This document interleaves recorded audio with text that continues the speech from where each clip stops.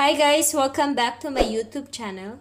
For today's video, gagawa tayo ng isang snacks na kung saan ito ay easy and affordable lang. So, tinatawag itong Natios.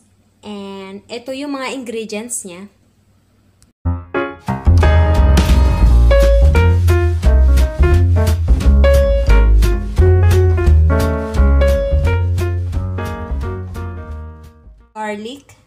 Onion, butter, pipino, na in-slice ko na siya ng maliliit, cabbage, ground pork, nachos, chips,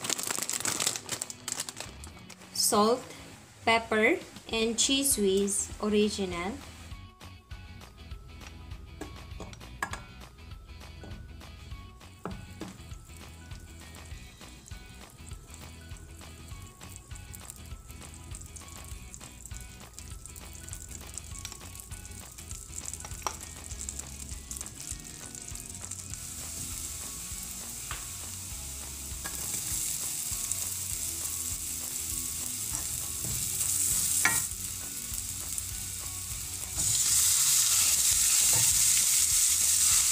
Thank you.